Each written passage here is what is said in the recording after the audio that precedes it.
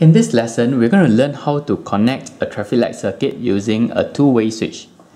So the apparatus that we require will be two battery holders with batteries in it connected in series. And I also need a two-way switch. And this two-way switch is quite special, such that it has three connection points. One, two, three. We also require the LED and also we need five wires. So um, talking about this traffic light, right? You know that uh, either the green man or the red man is flashing at any point of time. So we have this uh, LED to simulate. So we will make sure that either the um, green LED or the blue LED is, is lighted up at any point of time using the two-way switch. Now we are ready to connect the circuit. First of all, we start off with the battery. So uh, connect it to the red knob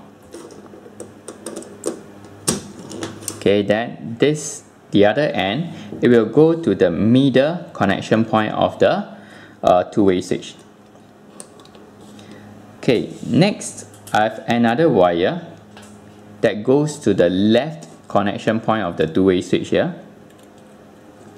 And the other side will go to the positive terminal of the green LED okay and guys take note. You see that this side is the positive terminal of the LED, right? And I link it all the way to the positive end of the battery, okay, just to make sure that the polarity is correct. Okay, next, I will connect the negative side of the LED to the negative side of the battery. So now this traffic light circuit is halfway done and I can check it by moving the switch to the left side and you find that the green LED lights up. Okay, Next, we are ready for the second half. Take a wire, connect it to the right connection point of the two-way switch. Okay. Then the other side of the wire will go to the positive terminal of the blue LED.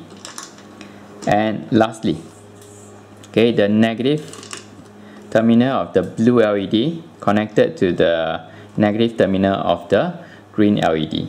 So now our traffic light circuit is done. Okay. So when the switch is is in this position, is facing upwards, okay, none of the LED will light up. If you bring it down to the left, the red will light up. It's like the green man. Okay. Thereafter, if you bring it up to the left to the other side, it's the blue LED that will light up. Okay. So this is basically the traffic light circuit using the two-way switch. I hope you have enjoyed the lesson.